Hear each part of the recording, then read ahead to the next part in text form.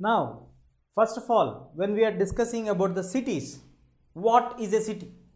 How can you call this particular place as a city? So, as we know that we have specifications for everything, for everything we have characteristics. So, for boys we have certain features, for girls we have certain features, for every individual we have certain facial features which differentiate from one person to the other person. Every item has certain characteristics. Every fruit has its own characteristics. In the same way, if any place to be called as a city, it should have certain characteristics. So now we shall identify the characteristics of the city. Let us see here the characteristics of the city.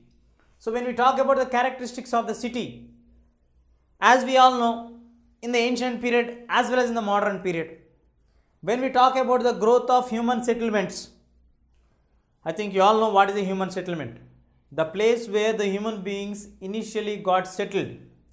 The settlements later turned into towns and from towns they turned into cities. So even today the world famous settlements are nearby to the water bodies or rivers and lakes. Example I would like to give Ur and Nippur in the western countries, Mohenjo-daro in Indian subcontinent. So this Ur, Nippur, Mohenjo-daro all are river valleys only.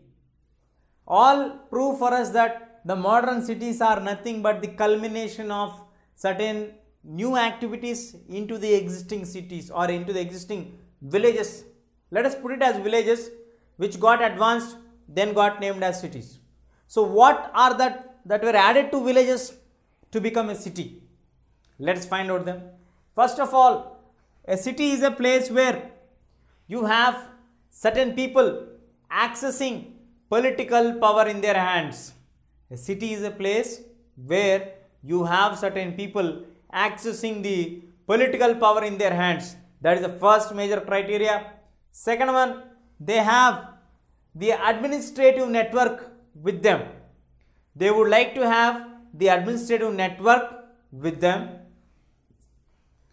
Third one, trade, religion. They used to have from that particular city trade relations with the other countries, with the other corners of the same country.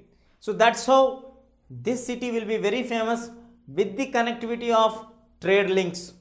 And then we have religion, the religious aspects, religious worship places, religious priests, all these people staying in the city. And it also consists of very large population as a common feature of a city, industries, opportunities, businessmen, small and large, all these people buckled up together is called a city. So in simple words, we can say that a city is nothing but a village which used to be at the river valleys. After a long period of time with the accommodation of more number of people and with the getting the people involved into the political power having the administrative network able to run the administration then moving on to the trade links establishing the trade links with the other places. Religion having the religious worship places religious gurus staying there and last but not the least growth in the categories of industries in the category of providing employment opportunities for the people from the nearby places. These all together can be called as a modern world called urbanization. In the modern world, we call a city is nothing but a place which got urbanized from a village. A village which got urbanized will be termed as a city. So, in order to understand the history of urbanization, we need to focus or do a case study on one of the best cities in the world, then you can understand how did the process of industrialization got developed or how was the process of industrialization or urbanization initiated first and how did it reach to the long journey was it was found today. Now, what is the busiest city in the world? I think you all know the most happening city, the busiest city is London. Even during the 19th century or present day also, the most busiest place or the most highly advanced city is London and the next most busiest city or highly advanced city, most commercial activities going on city in the Indian subcontinent is Mumbai. So London and Mumbai would be our case study aspects to understand the history of urbanization which happened in the past 200 years. Now we shall discuss about industrialization and how did the process of industrialization got influencing one of the fastest growth cities during that century even today also London.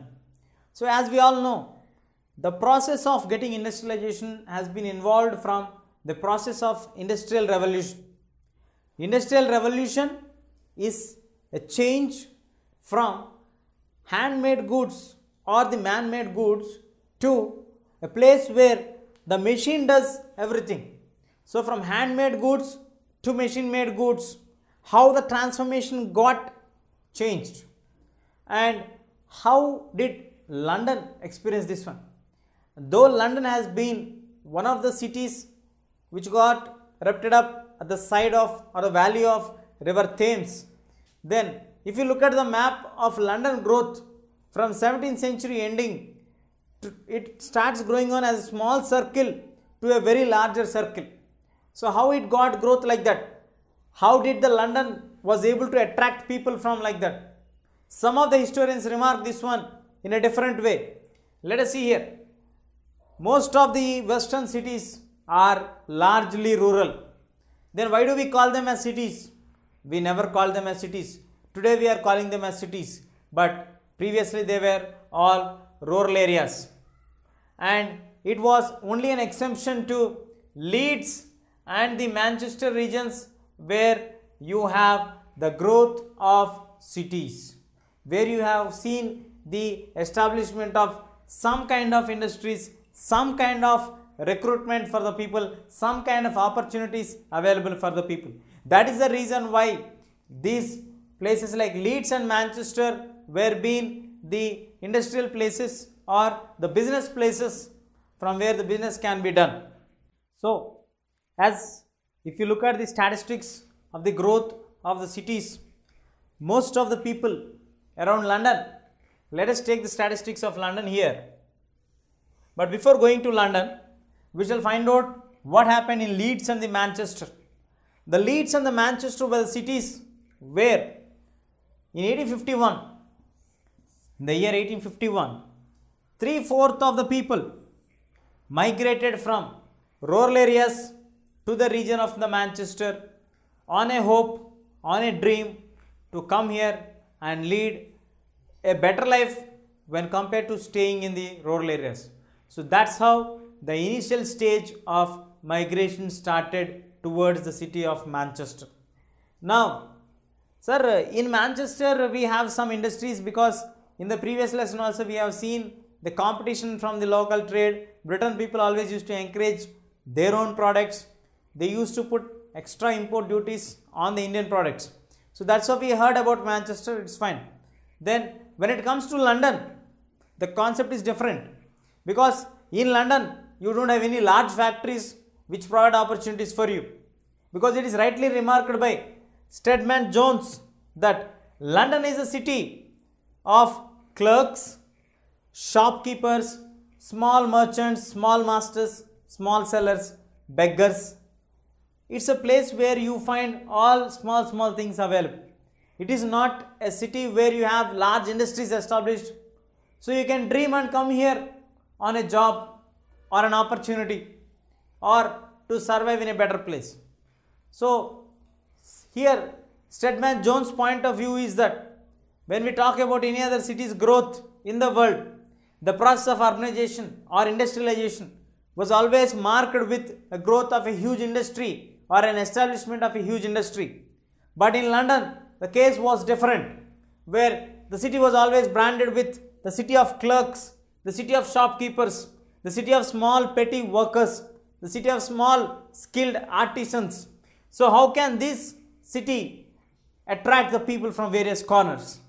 Let us look at the statistics, how the city got attracted towards itself. In 1750, when the statistics were taken, one out of every nine members in the society of England and Wales Islands you love to be in the city of London, the city of colossal city, the city of London. If you look at the statistics still further, in 18th century, prior to this in 1750 as we discussed, the population was around 6 lakhs 75,000 but by the time it came to 1810, it reached to 1 million.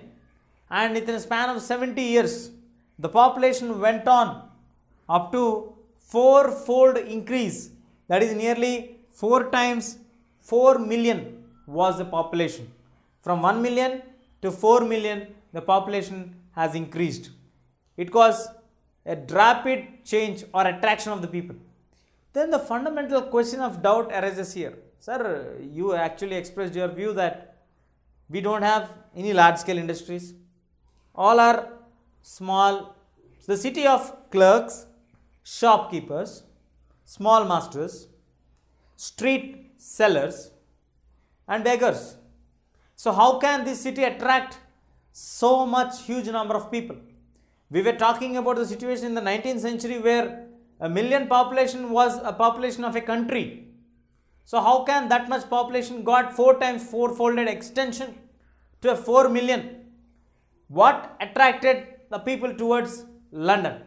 A serious study was made on this so, it's not that something which attracted towards London, the same industrialization attracted people towards London. But the case is different here, only thing is large factories or industries were not established. Then what were established? We have five major industries, the core industries to attract people to London. The five major core industries are the cloth industry, fine cloth cotton cloth, fabric cloth has been initiated from London factories. Then we have the footwear industries coming forward. The famous, world famous footwear industries were located in London. Then we have the wood, the furniture industries taking up ahead.